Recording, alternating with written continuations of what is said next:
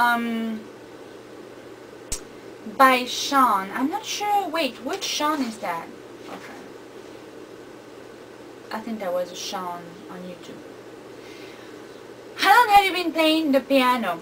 Uh, now I've been uh, learning intensely uh, for two years. I started just two years ago to uh, learn and like be, you know, more um, like I decided exactly two years ago to um, use it, you know, as a new format for my music. Um, so yeah, so it's been just just uh, two years I guess that I started to learn. Okay, did you teach yourself or did you take lessons? A little bit of both. Um, I um, I looked for a teacher at first I looked for a teacher that would like um, you know be able to teach me because I'm not I never learned music reading sheet music um, you know like just a da da da you know that kind of stuff or singing with sheet music. And I don't have anything against it but it's not the way you know I do things. I can I can read it because at first I thought oh do I need to read sheet music you know to learn the piano? And I wanted to explore it a little bit. So I did explore it a little bit at first and all, my ear would always go faster and I honestly don't like having my nose you know like staring at a paper when I'm performing. I'm like what? you know. So um so I found a teacher at first, a, a, wonderful, you know, teacher that knew a lot of different methods. That was in Cleveland. And uh, he uh, developed a method for me. He told me, I think you need to follow that. And uh, so the method was to use the ear, you know, of course, and um, he taught me a little bit of jazz patterns, chord progressions.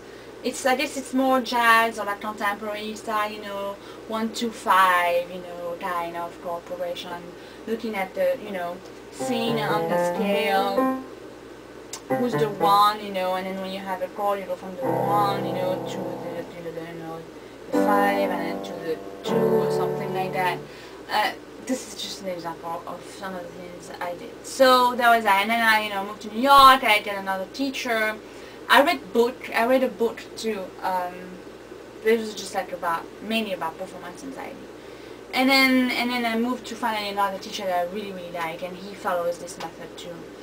Um as far as singing who's your favorite artist? What's your favorite songs? My favorite artist uh, on top top top I think really who's on the top it's Madonna and then it's Oasis. This is really on the top.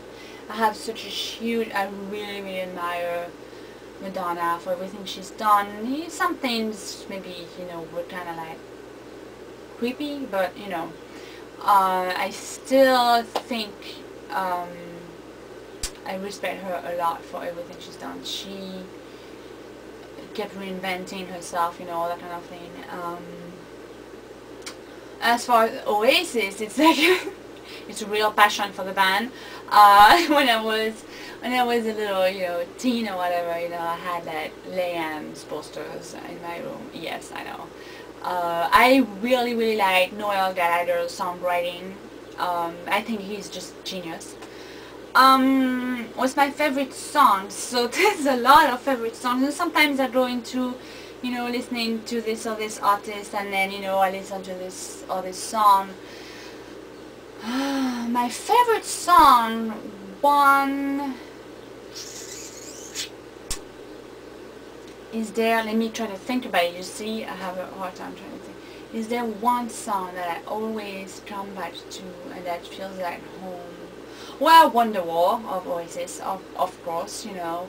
And uh, uh, I think uh, Madonna, Madonna is really the whole Ray of Light album. And there's probably Power of Goodbye in there that I really like. And then, uh, then you know, I like the Cardigans, don't blame your daughter. Uh, this is a song that I you know come back to often. Um,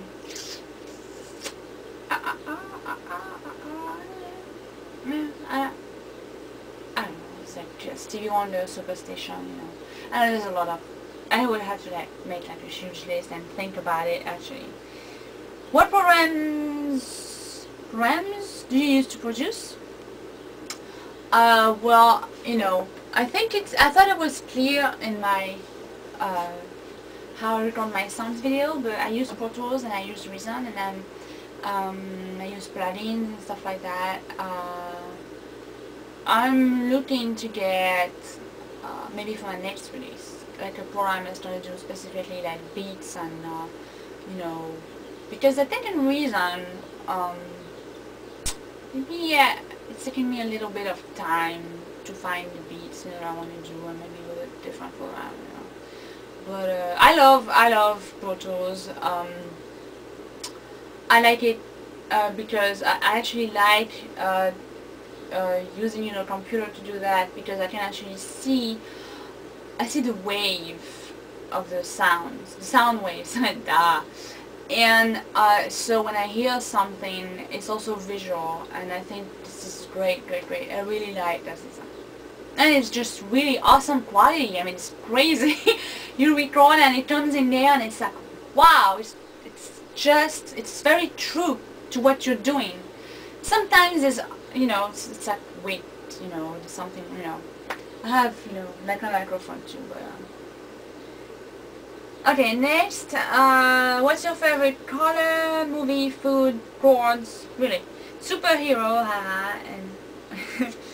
uh, okay, my favorite color, sometimes it's yellow, um, sometimes it's like white, blue, you know, it depends on my uh, mood and, you know, which chakra color, you know, I want to, like, breathe in, you know, on that day. I know that sounds very, like, you know, but yes, uh, colors have a huge effect on your mind. I used to uh, like black and blue as my favorite colors, but um, you know, uh, everyone changes. I try not to wear all black anymore. Uh, I realize that, yeah, it's kind of like depressing wearing black all the time. It's kind of classy uh, too, so if I wear it, you know, I try to wear it for a reason. Um,